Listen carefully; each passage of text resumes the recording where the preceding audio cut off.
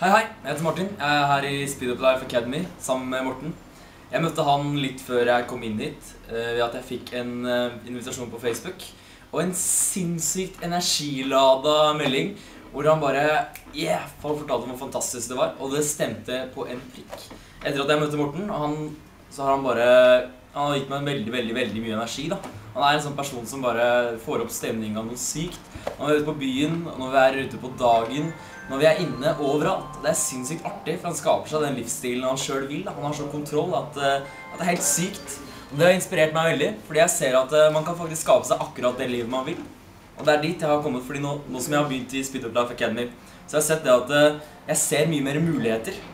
Jeg tar mye mer ansvar sjøl, og det er en stor greie. For nå begynner jeg å forme livet mitt i den retningen jeg vil gå. Og det, det er en veldig kraftig egenskap. Og det er bare én av ufattelig mange grunner til hvorfor du eh, bør gå og se på Morten på det seminaret og lytte. Fordi der kommer du til å lære sinnssykt mye.